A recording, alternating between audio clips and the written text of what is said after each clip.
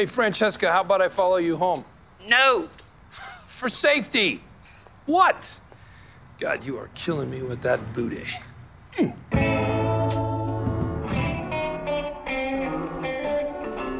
The idea that Kim Wexler is not only alive and well in the Breaking Bad timeline, but is in fact also a major player behind the scenes is an absolutely captivating possibility. Oh, you betcha. Take it easy. Rewatching Breaking Bad, there is absolutely no reason to believe she couldn't be there. That doesn't necessarily mean she is. It could be a case of clever misdirection, but that's what makes it intriguing. Is the possibility is, as I see it, very real. Regarding the season opening of Saul's Home, a lot of people are debating whether that was a bachelor pad or whether there was any evidence of Kim living there. I don't think we can tell a whole lot from that because we're only shown glimpses. And who knows? Maybe the more Kim broke bad, the saucier she got. Remember, Saul Goodman is a character she is in the midst of defining right now. Who's to say Kimmy and Goodman aren't into hosting threesomes and orgies? Maybe that's why that booty was killing poor Saul. Hell, maybe even Howard gets involved in the action. I'm just getting warmed up.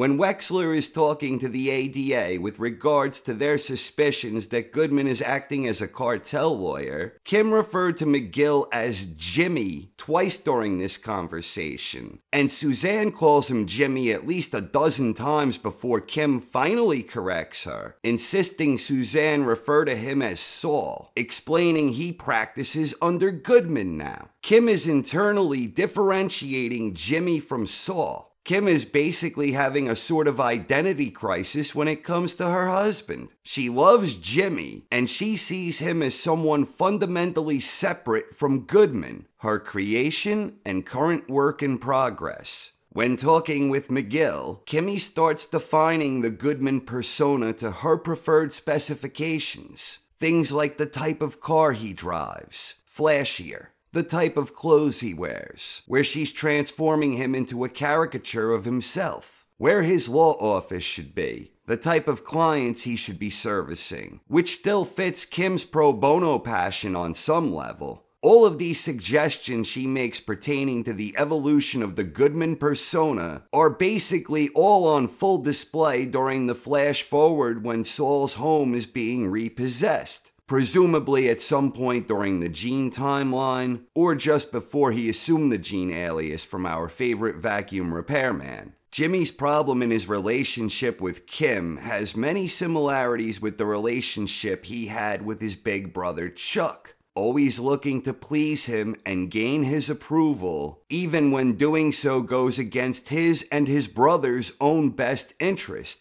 Chuck was mentally ill and in need of help. But Chuck wanted to leave the hospital and go home. Jimmy wanted to please Chuck and gain his approval, and Chuck never got the help he needed. Will he redeem himself and not make the same mistake? That is, in large part, what this season boils down to with regards to Kimmy and Jim. And the relevant precedent is Jimmy's relationship with Chuck, where, in my opinion, Jimmy failed Chuck and he failed himself. History is repeating itself now with Kimmy Corleone. Saul knows they're going too far with this ruthless plot to destroy poor Howard. He's playing along because he wants to support Kim, but on some level, he knows what they're doing to Howard is wrong. Supporting evidence for this is building. First, the original discussion about Kimmy's scheme, where Jimmy notes that Howard doesn't deserve this. Then Jimmy shows reluctance when Kim brings it up again, and he asks if they are really still doing that. Then, most recently, when questioned by Huell about why he does what he does, Goodman sells him some two bit pitch about doing the Lord's work. Huell ain't buying it, and Goodman himself looks as if he has no good answer to that question. For the longest time, it looked as if Kim Wexler was the only thing keeping Jimmy McGill from going all in on Saul Goodman. But now Kimmy is actively sculpting the creation which will later become Saul Goodman as we knew him in Breaking Bad. And ironically, the thing that seems to be giving Jimmy hesitation from going all in now is the fact that deep down he knows poor Howard does not deserve to be ruined. Much like he previously knew that getting Chuck the help he required was probably the best move.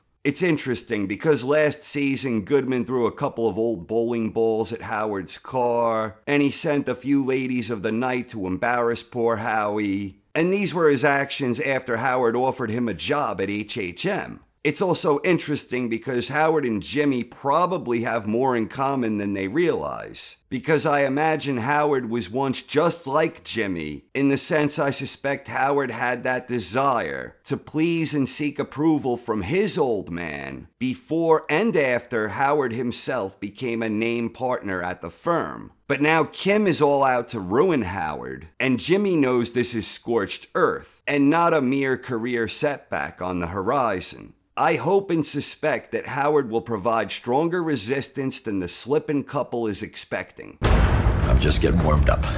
The shift in dynamics between Kim and Jimmy became apparent late last season when Kim first described her scheme to go after Howard. It's being reinforced again here, where even Jimmy had no idea what to do when first given news about the ADA's belief that he is involved as a lawyer for the cartel. He asks her what to do, and cool as an assassin, she breaks it down plain and simple, while strongly implying exactly what it is she wants him to do. Do you want to be a friend to the cartel, or do you want to be a rat?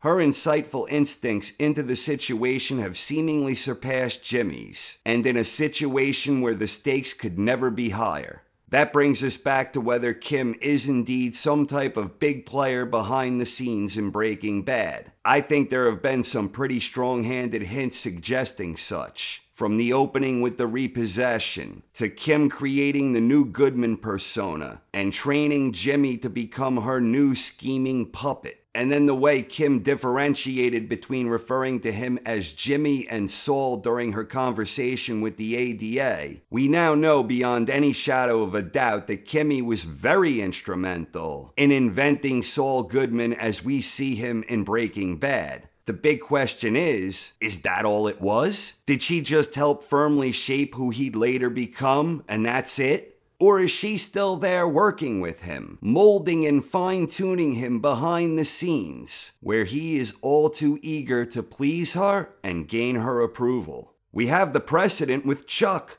And if anything, McGill's devotion to obtaining Kim's approval is a far stronger driving force. We also know, in the end, Goodman is an irredeemable scumbag. So, if the key to Jimmy McGill's redemption is not making the same mistake with Kim that he previously made with Chuck with the overeager desire to please, we know he fails. The tangible evidence is right there in Breaking Bad. Now, maybe Kim isn't there in Breaking Bad, and they're just showing the strong role she played in his transformation. Maybe if it is a red herring development, it's a good one that keeps the question alive, where the possibility alone remains captivating. But I have a damn hard time believing they're giving us all these hints just to say Kim helped shape Goodman. We already kinda knew that. I believe Kimmy Corleone is indeed a big player behind the scenes in some capacity in Breaking Bad. And as a final thought, consider the words from co creator Peter Gould. Quote, I think by the time you finish watching Better Call Saul, you're going to see Breaking Bad in a very different light. What better represents that sentiment? Kimmy helping build Goodman and not being around after? Or Kimmy developing Goodman and pulling the strings behind the scenes in Breaking Bad? I know what answer works best for me.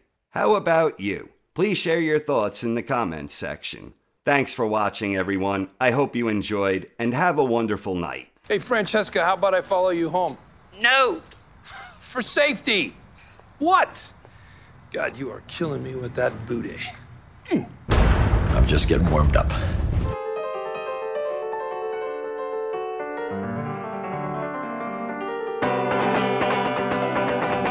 You see, I've been through the desert on a horse with no name. It felt good